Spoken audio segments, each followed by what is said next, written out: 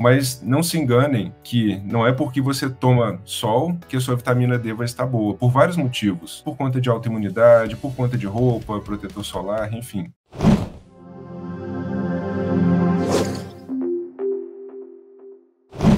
Vamos fechar com chave de ouro, então. A gente vai falar da vitamina D3. Estamos aqui em pleno país, hoje está um calorão aqui na minha cidade, né, com esse sol, e a maioria das pessoas tem vitamina D baixa. Então, é uma vitamina que eu aprendi muito dela com o Dr. Cícero Coimbra, e eu acredito que sim, todo mundo deveria suplementar. A maioria das pessoas, eu vejo que algumas poucas pessoas não precisam, porque tem uma rotina muito diferenciada com exposição solar, mas não se enganem que não é porque você toma sol que a sua vitamina D vai estar boa, por vários motivos.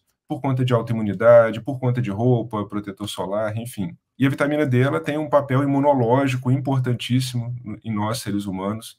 Tem um papel. Então, assim, ela funciona em todas as células do nosso organismo, simples assim. É, então, a gente tem que acompanhar e tem que otimizar essa vitamina D normalmente através de suplementação. Agora, vamos também para os números da vitamina D3. Deixa eu apertar aqui, doutor Micael, mesmo estando de longe aqui. E aí, doutor Micael? Vamos lá o ideal dessa famosa e importante vitamina D3? Como, como sempre, a gente não é tão simples, né? Para entender sobre a vitamina D, precisaremos de avaliar no mínimo três exames laboratoriais. O primeiro deles é o que as pessoas estão acostumadas a falar, que na verdade, para nós que entendemos muito bem da vitamina D, é o exame com menor é, impacto quando a gente acompanha pacientes e quer otimizar essa vitamina D, que é o exame 25-hidroxivitamina D3. Esse exame nos mostra o estoque de vitamina D na sua forma inativa. Ele é importante? Sim, ele é importante. Mas quem vai me falar da atividade dessa vitamina D é um exame chamado paratormônio. Então, a gente vai acompanhar 25-hidroxivitamina D3, a gente quer ele acima de 60, sim.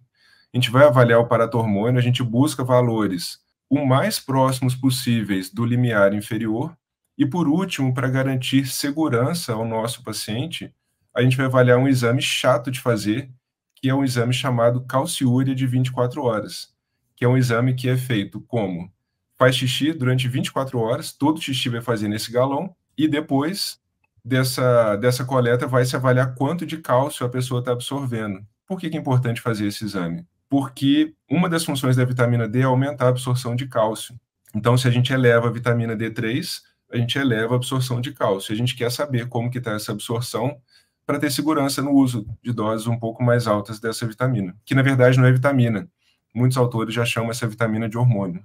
Mundo da Larissa, quais são os suplementos? Chegou atrasada. Chegou atrasada, né? Não tem problema não, é só você colocar o dedinho aqui no YouTube, você volta e assiste novamente, pausando, anotando aí para você aprender. Obrigado aí pela audiência e vai compartilhando essa live que ela é muito importante. Então, um resumão aqui, ó cinco suplementos aí que o doutor Micael considera, lógico, tem uma infinidade aí, mas a gente nós selecionamos cinco aqui, até pela questão do tempo, né?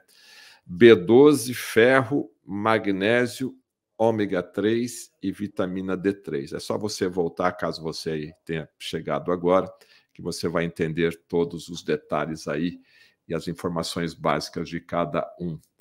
Agora, temos aqui a Luana para concluir. Obrigado, Luana, mais uma vez. Então, ela não disse que o melado é para repor quem tem falta, mas que é bom sim para quem não tem diabetes, assim como o suco de beterraba e outros alimentos que possuem ferro, né?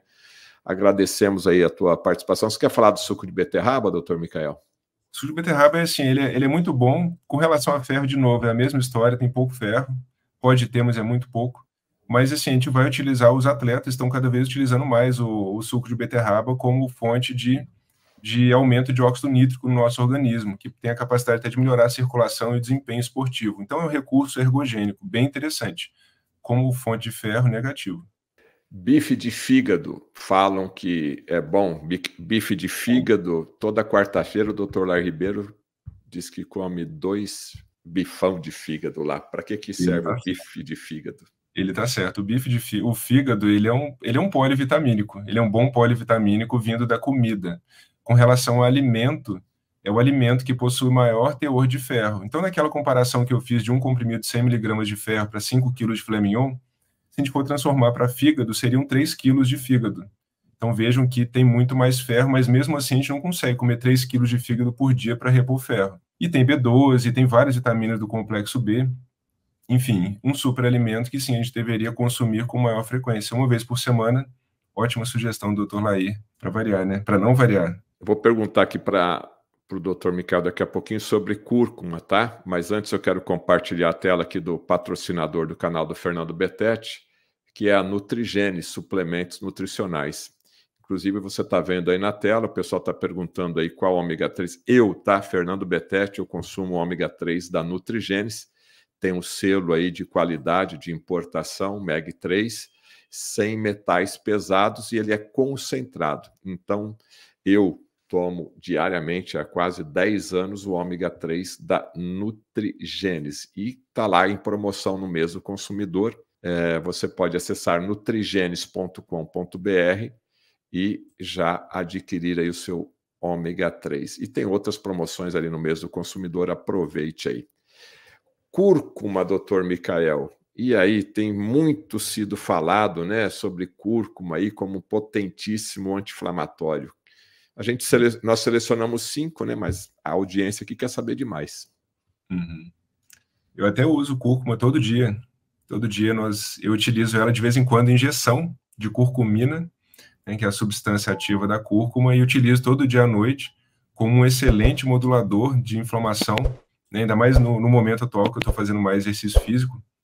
Eu, eu acredito que seja sim um suplemento de grande valia. Eu, eu não vejo que a cúrcuma seja básico. Né, então a gente já está falando de um fitoterápico de custo bem mais elevado, quando de qualidade, mas não é básico, como sim que a gente comentou no início da, da nossa live.